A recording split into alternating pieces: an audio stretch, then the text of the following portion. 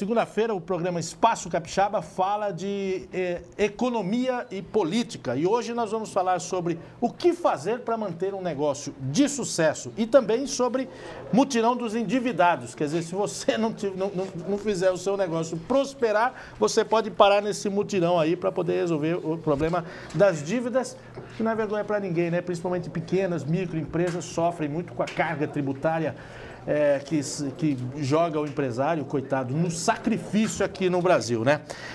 É, então nós vamos receber daqui a pouco aqui no programa Luiz Carlos Ridolfi, diretor técnico da CBMAE, CBMAE. É, vem falar sobre isso. E está aqui ao meu lado o Wilson Marchiori Júnior, ele é coordenador do SEBRAE de Linhares. Tudo bem, Marchiori? Boa tarde. Tudo bem.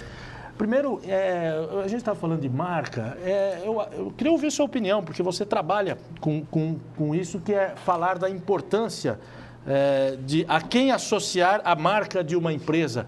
É, é, extremamente interessante para o empresário, para uma empresa, patrocinar uma seleção como a de beach soccer aqui do Espírito Santo, que ganhou três títulos nacionais e em outros três foi vice-campeã, né? Ah, com certeza, né? Você ter um, um, um, nome ligado, uma seleção, né? onde você pode vincular esse, esse, um, um produto, uma imagem da sua empresa a, um, a um, já uma, uma, uma, seleção dessa campeã, né? então você só tem, só tem que colher frutos né? com Sem essa dúvida. parceria e profissionalizar uma seleção é, de, um, de um esporte que cada vez mais se profissionaliza também é algo extremamente interessante, né? Agora, o nosso assunto é saiba como manter um negócio de sucesso. Esse é o desafio dessa nossa entrevista. Eu acho que antes de, de manter um negócio de sucesso é fazer com que o seu negócio tenha sucesso, né? Qual é o caminho? Com certeza.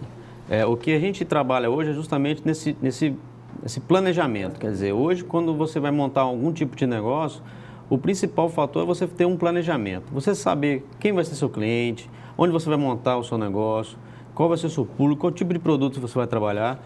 E tudo isso a gente tem ferramentas, o Sebrae né, disponibiliza ferramentas para que o empreendedor, o empresário, possa montar o seu negócio realmente com os pés no chão, sabendo quais são os, os riscos que ele vai correr, faz, é, a gente chama de riscos calculados, né? Uhum. Então, trabalha toda essa parte de, de planejamento. Quer dizer, o primeiro passo é planejar, né? Que Correto. tipo de programas vocês têm lá nessa linha? Bom, nós temos várias é, consultorias onde você pode estar tá fazendo esse planejamento. Nós temos a parte de antes de você montar, né? Seria a consultoria, são planos de negócio, são consultorias diretamente com o empreendedor. Nós temos as consultorias gerenciais, Uhum. que pós o empreendedor já está, montou a empresa, ah, preciso melhorar, preciso resolver algum, algum detalhe que ficou. A gente tem a consultoria gerencial. Temos alguns, alguns produtos agora, algumas, algumas ferramentas que nós estamos disponibilizando agora. Já nesse ano já está é, sendo atendido às empresas, que se chamam negócio a negócio né? um outro tipo de atividade. Negócio é a, negócio. Negócio a negócio. Negócio a negócio. Isso. Eu estou perguntando isso porque tem um site, negócio a negócio, né? É o negócio certo. Ah, negócio certo. É. E tem um negócio certo.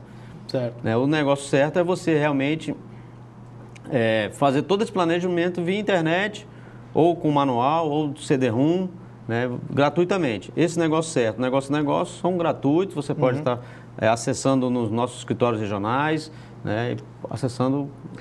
Existem outros tipos de consultorias que são, que são pagas, né? É, as consultorias elas têm um custo, né, só que esse custo é todo subsidiado.